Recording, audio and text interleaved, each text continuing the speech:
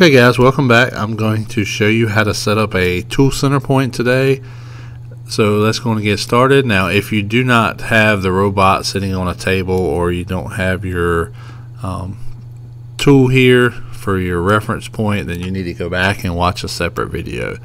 But basically what you need to do if your tool center point is somewhere other than out in front of the robot is just click at the base here and then move him out a little bit here and there. Not actually going to move mine because I've kind of already got it set up just for the ease of making the video go a little bit faster. So I'm just going to leave mine where it's at. But just remember, if you hover over the lines there, you can left click and drag it around.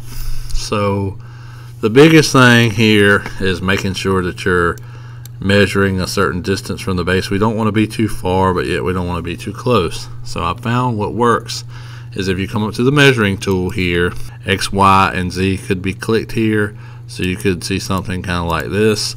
So you'll just want to unclick X, Y, and Z there. Alright. If you come up to the measuring tool here and click on it, then go down to our base and left click, then we can pull across here like such and it'll tell us that we're about 342 millimeters. So as long as the base of this thing is about 342 millimeters, you should be okay. Okay, now it doesn't have to be right at 342, but somewhere in the 340 range is about good. Alright, so again, the way we did that is we clicked on the measuring tool. We just, it, since I was already clicked on it this time, it actually went on and had my um, mouse down there and I just pulled across to 340. So we have that set up. I'm going to walk us through how to set up a tool frame. So when you come to class, your tool frame is going to be a very important thing to have set up. But it's also important to know how to get there and what to do in this point. So if you bring out your teach pendant here and give it a few seconds, um, I am going to want to hover and create a tool frame, but I'm going to want to hover over top of my tool reference point and create a drop down above it and then two 90 degrees apart from each other. Okay. So first thing we're going to do is hit menu. I'm going to scroll down to setup here and then we're going to scroll over to frames and then when we click on frames we're going to hit enter and it's going to bring up probably the last thing you were in. In this case I was in user frames. So I'm going to hit um, previous here and then I'm going to choose other and I'm going to choose tool frame. Now with this tool frame I have this first one set up right here which is called group 1 what you will need to do is create a name here. So I'll scroll on over or actually when I hit enter here for the details where the comment is this is where you're going to put your group um, name. So if your last name is Davis and the person beside you's last name is um, Davis then your group name would be hit enter here options keyboard keyboard then you would just call your group um, DD. All right, so first letter of each last name, except. So now that we have our last name in here, I want to go and record a point. Now, I'm not actually going to show or spend the time jogging down to the robot just for the ease of making this video last a little bit less time. So I've already created the point. So I'm just going to do a shift move to, and this is what my first point should look like. Alright, I'm going to get rid of the teach pendant for a second. And notice that if you were to look at it, it looks like the two points are somewhat lined up. Now you can scroll in. Once you do that, then you're pretty much set up for your first recording position. So once you jog the robot down to where it looks like this, I'm going to pull up my teach pendant and where I was in um, approach point one, this would be my first approach point. So right here I would hit shift and I would do a record. And then now it's going to calculate this position here. Now for my second position, what I want to do is I want to come kind of from the side. Not directly from the side, but kind of off at an angle in this direction here. Okay, so if I were to scale back and look at the robot, I don't want to be the tip pointing directly out this way but I do want the tip to be pointing from a direction kind of in here and the reason I'm going to do that is because if you were to kind of come in from the side for your second approach point then your third approach point would need to be 90 degrees from that. So that means you'd either have to be way out here facing back towards the base of the robot, or you'd have to configure your robot to be pointing towards you, the user, and this causes a little bit of an issue. So when I found if you were to actually come across here and go at an angle, kind of like if you pictured 90 degrees being from to the base of the robot out to the right here, then kind of go in that middle portion right there where that 45 mark would be at. So I'll show you that in just a second. All right.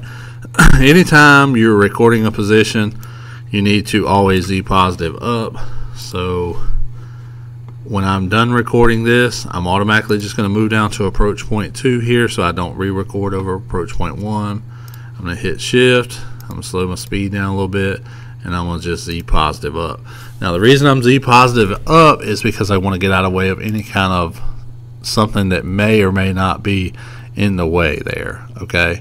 So in RoboGuide, it really doesn't matter, but out on the tables where we're using them in the classroom, it does matter. So you need to make sure that you're always Z positive up to get up out of the way. Because when I hit in a second shift move to this next approach point, you're going to find that the robot's just going to move right on down. Shift move to here. You will not be able to do this until you've created the point, but just take note of what's happening. I'm rotating I mean joint four around here. I'm pulling uh, joint five kind of up to get this gripper kind of level here. And then I'm just going to approach it from a angle that's kind of 45 to 90 being back this way alright so this is kind of what we're going to be left with here alright so you'll see if I were to come up and scroll in or scroll around that um, the two points are again somewhat touching here now if I move around back to the back, you'll see that the robot is maybe down a little bit, but it's pretty level across here. Alright, so that's what it would look like from kind of a side angle here. So if I was standing at the side looking at it on the front, it would kind of look at look like that right there. Okay, and then from this side, it would look like it's on an angle there.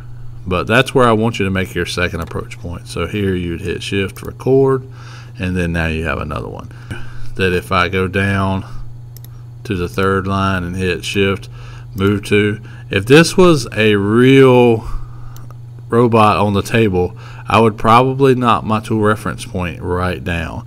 And if I do that what's going to happen is then I'm going to have to retouch all my points up again. So that's why I tell you to Z positive up. So in RoboGuide again you can do shift move to but just remember that see watch my robot right here is it going to hit? Absolutely hits. All right, so we're cutting through the invisible robot there. Always Z positive out of the way so you can actually do what you need to do there. Oh, and I've closed off my teach pendant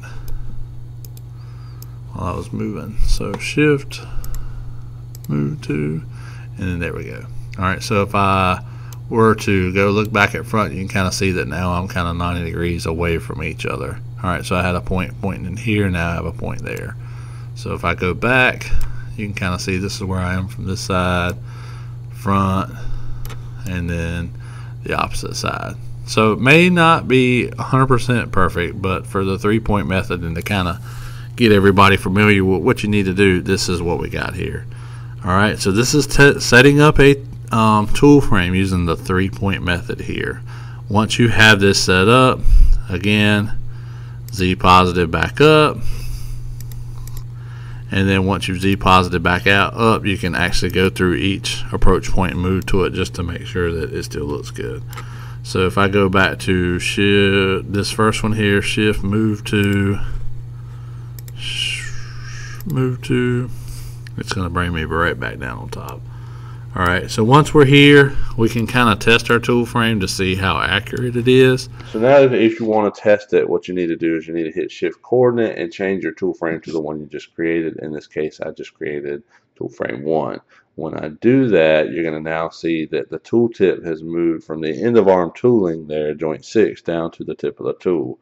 That's why you're seeing that little green looking tennis ball down towards the end there. All right. Once you zoom in and zoom out, you can actually see the ball get a little bit smaller. But honestly, what it's doing is just telling you that if you can, if you move in an X, Y, or Z direction, this is where you would be going. Now you'll see that I was doing a J negative or J5 negative, or J5 positive movement there, just rotating it around. Now I want you guys to try doing that. So try your J3, I mean your J4, your J5, and your J6 movements around your tool reference point and just kind of see, zoom in and kind of see how good that tool tip stays on your tool reference point. And if it's real bad, then maybe you need to go in and retouch up some of your points. But if it's pretty good, like this one is, it's good enough for what we need to do in the class, then go on and submit your file into Moodle. If you have any questions, please feel free to email me. Have a good day. Thanks.